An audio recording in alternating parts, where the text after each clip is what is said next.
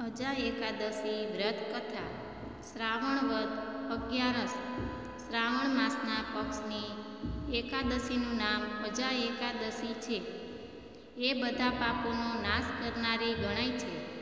ભગવાન ઋષિકેશનું પૂજન કરીને એનું વ્રત જે કરે છે, એના બધા પાપો નાશ પામે છે. પૂર્વકાળમાં હરિશ્ચંદ્ર નામના પ્રખ્યાત રાજા થઈ ગયા. તેઓ સમસ્ત ભૂમંડળના સ્વામી અને સત્યવાદી હતા.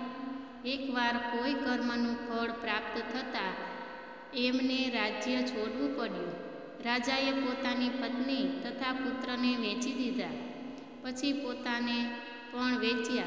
પુણ્યાત્મા હોવા છતાં પણ એમણે ચંડાળની ગુલામી કરવી પડી તેઓ મડદાના કફન લેવાનું કામ કરતા. આમ થવા છતાં પણ નૃપ શેઠે હરિશ્ચંદ્ર સત્યથી વિચલિત ન થતા. આ રીતે ચંડાળની ગુલામી કરતાં કરતાં એમના અનેક વર્ષો વીતી ગયા. એથી રાજાને ઘણી ચિંતા થઈ. તેઓ અત્યંત દુઃખી થઈને વિચારવા લાગ્યા, શું કરું? ક્યાં જાઉં? કેવી રીતે મારો ઉદ્ધાર થશે?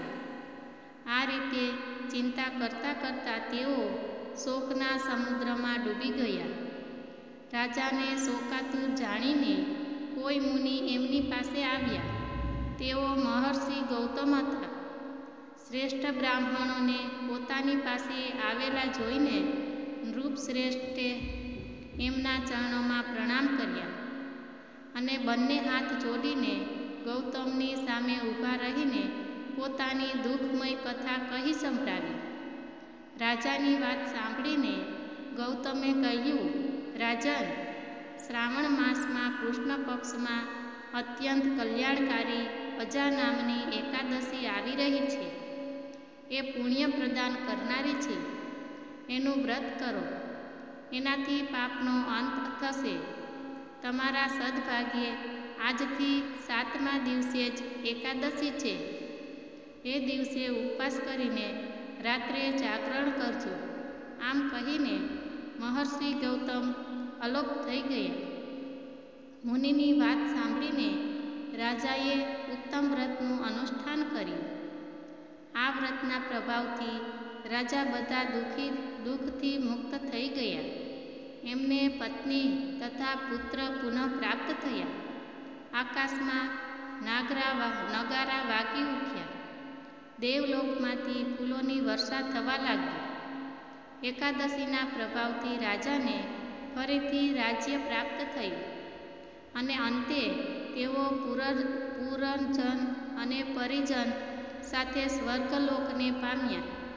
રાજન એ મનુષ્ય એકાદશી અજા એકાદશી વ્રત કરે છે. એ બધા પાપોથી મુક્ત થઈને સ્વર્ગલોકમાં જાય છે. આને વાંચવા અને સાંભળવાથી અશ્વમેઘ યજ્ઞનું ફળ પ્રાપ્ત થાય છે. અમારો વીડિયો પસંદ આવે તો લાઈક, શેર સબસ્ક્રાઈબ કરવાનું ભૂલશો નહીં.